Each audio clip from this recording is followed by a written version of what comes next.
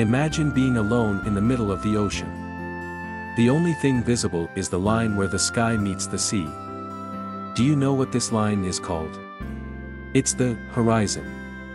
And do you know its height? The horizon aligns with your eye level. Now, let's transition from the ocean to a flat desert, providing a stable surface. We'll place a block in the desert and observe it from the second floor. It could also be much smaller than we are. The crucial aspect is the viewpoint from above. Here's a fundamental principle. In drawing and painting perspective, all parallel lines converge at a single point on the horizon. Our block is defined by three guidelines intersecting at point T1 and 3 at point T2. You should never draw what you see, but what you want people to see on your drawing. The main difference between an amateur and professional art is the correct use of perspective and shading. And that's what we will learn in this video. Thank you Teo. Now, viewing the block from the fifth floor reveals more of the upper side. And all construction lines, that extend from the parallel edges, still converge at a single point on the horizon. Now we go down to the ground and convert our block into a spaceship floating above us. We don't see the upper side anymore, now we see the lower one instead. The important thing is, that all parallel construction lines still converge at a single point on the horizon. Facing a larger block, we don't see the top or the bottom side anymore and parallel construction lines above and below the horizon still converge at a single point on the horizon. Making the block translucent adds more construction lines, and remarkably, they also converge at the same point. This transparent block prompts us to consider what happens within it, akin to being inside a room. Even within, if edges are parallel, guidelines between walls and the floor or ceiling intersect at a single point on the horizon. Adding a ceiling and opening in the wall reveals the horizon where the sky touches the desert. Moving outside in the desert, we add a road. Now all parallel lines converge at a single point on the horizon. Let's add some power lines to provide electricity to the next village. Tops and bottoms of columns align on construction lines parallel to the road's edges, all converging at the same point on the horizon. It is easy to make two columns, but how do we put more columns on the image? If the distance between them is the same, then the tops and the bottoms of two columns form a square and we draw both diagonals. Because the squares between all columns are equal, the diagonals between them are parallel. We must draw diagonals of the next square and where they intersect the parallel construction lines, there stands the next column. It might be confusing there are two types of parallel lines. Lines, that are parallel in reality, intersect at the same point on the horizon. But diagonals we are talking about now, are parallel on the paper or screen. If you compare all red lines on this image, you will see they are all parallel. So are the blue ones. We keep repeating this process as long as needed to add all necessary columns. Maybe, now is the time to explain why we see everything in perspective. The more far away is a column, the smaller it appears in our eye. Our pupil is lens and all beams of light cross in it in the point C. The angle between the red lines, which come from the column B is sharper than the angle of beams of the column A. Consequently, column B creates a smaller picture on the eye's background than A. It is not safe standing in the middle of the road, so we will now move to the right lane. It feels lonely in the middle of the desert, so let's create a village. Let's make some buildings on the right side of the road. They are not of the same height, but their top edges are still parallel, so are the guidelines, that converge at a single point on the horizon. There are also blue guidelines for other parallel edges. The third building is smaller, but also a bit closer to the road, which makes even more guidelines that converge at a single point on the horizon. So does the guidelines of the building on the other side of the street. But something tricky happens here.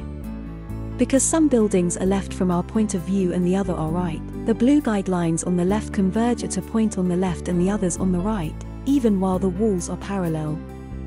We will talk about shading in a separate video, but for now just observe how the sun shines from the left, making walls that point towards it the brightest, those on the other side the darkest and those, facing towards us somewhere in between. And here we see, how the parallel blue guidelines from the left intersect in a single point that lies left of the paper. So does those on the right. People in the left building want to see on the street, so we will make a window for them. The top and the bottom of the window are parallel with the road, so its guidelines intersect at the end of the road. To prevent burglars to enter through that window, we will install some bars in the middle. To find the middle point where the bars intersect, we must draw those orange diagonals. Windows are usually put a bit inwards. Notice the middle blue line on the left side, that point to the edge of the window. Even such small details follow the same rules of perspective as everything else, so also this guideline converge at a point as the parallel edges of the house. Houses in the desert don't need roofs, but with climate changes you never know. Roofing a block involves drawing diagonals to find the middle point. Now we can place the top of the roof on the right place.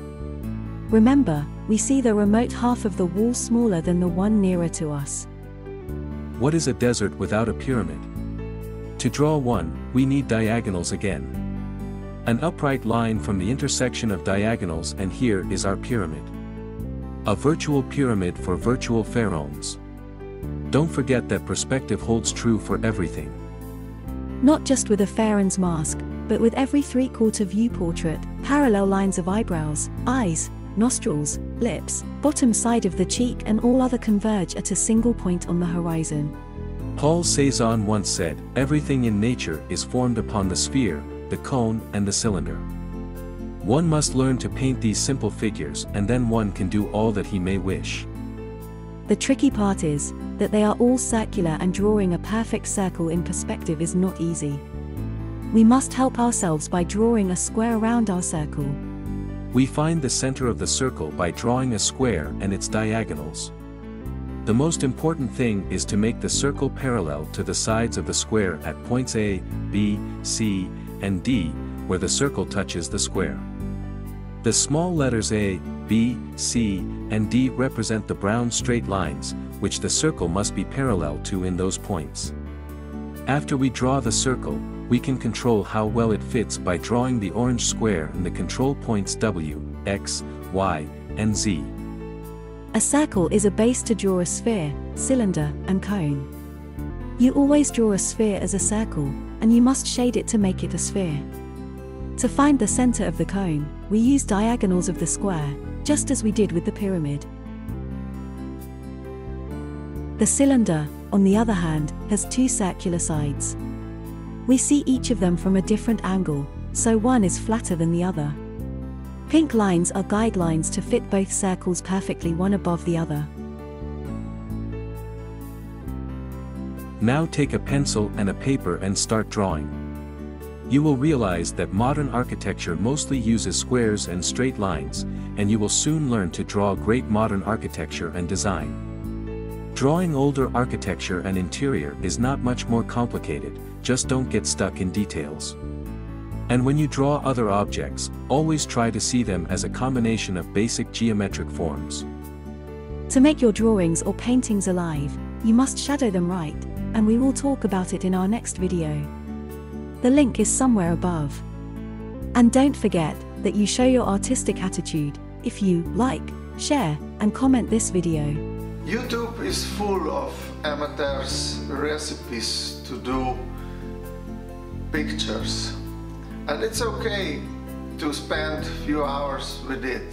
But if you want something more serious more artistic more personal then you really need some serious education. And here we will give you links to some of the best ways to learn art professionally for a reasonable price.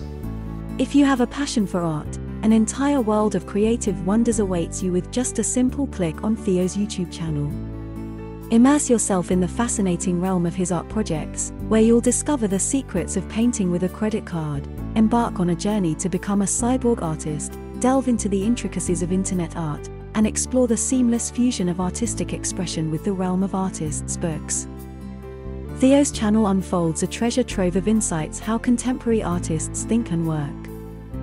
For a more profound understanding of Teo's artistic journey, academic pursuits, and the compelling narrative of how an unassuming artist from Slovenia captured the attention of the New York Times, venture into Teo's website at www.spiller.si. There, you'll uncover the rich tapestry of an artist's career and academic exploration, offering a unique perspective into the evolution of an individual who has left an indelible mark on the global art scene.